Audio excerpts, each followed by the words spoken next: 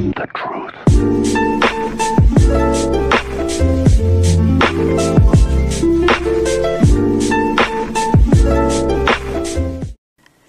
Yo, what's going on guys? Double Up here, and today I'm going to be showing you guys how to turn on and off the DJI Phantom 4 Advanced remote and the actual drone itself.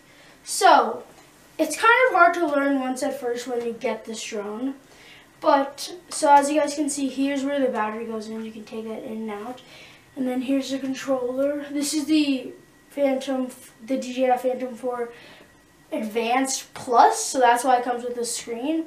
So as you guys see, here's the power button. So you're gonna press it and then pre hold it. It will do the beep. As you guys can see, there's the lights right there, right there, and then it comes with the DJI screen, right there. So that so that's how you know you're turning on the controller. And then how you do the the actual drone, it's pretty much the same exact concept. You go you press and then you hold. And then you hear that sound. And that means and then that means it's on. So the lights turn on right there.